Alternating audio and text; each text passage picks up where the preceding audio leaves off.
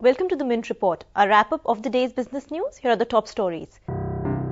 Special Court rejects bail applications from five executives in the 2G scandal. HCL's quarterly numbers beat expectations. And markets soar on positive global cues. The five top executives charged in the 2G scandal are going to remain in custody. On Wednesday, a CBI court in Delhi turned down the applications for bail. All five have been sent behind bars. They include Sanjay Chandra, the chairman of Unitech Wireless, Gautam Doshi, the managing director of Anil Ambani's Reliance Group, and Vinod Goenka, the managing director of DB Realty. The judge in the case said the 2G case involved serious corruption charges and that there was incriminating evidence. The five executives have now turned to the Delhi High Court, which will hear their case on Thursday. Of course, stocks of companies to which those executives belong all tanked on a day, overall markets made gains. Unitech nosedived more than 5% on the BSE to under 41 rupees, and Reliance Communications declined 2% by the end of trade. DB Realty meanwhile fell 4.22% to 102 rupees and 25 paise.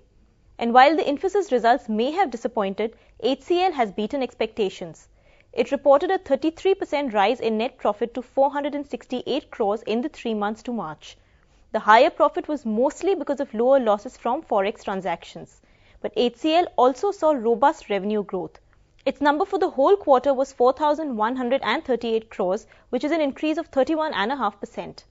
The numbers prompted the company's shares to rocket up nearly 10% to 523 rupees on the BSE.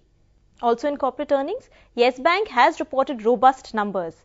It posted a 45.2% increase in net profit to 203 crores, and its loan book expanded nearly 55% to more than 34,000.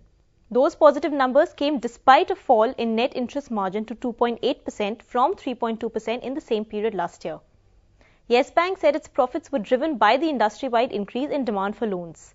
Its shares rose 2.18% on the BSE to 330.5 rupees. And while stocks of companies caught up in the 2G scandal tumbled, on the whole, Indian markets soared. The Sensex shot up 349 points to 19,471 and the Nifty jumped 111 to 5,852. Wednesday's gains were prompted by strong global cues and a healthy monsoon forecast. Not surprisingly, lenders were among the big winners.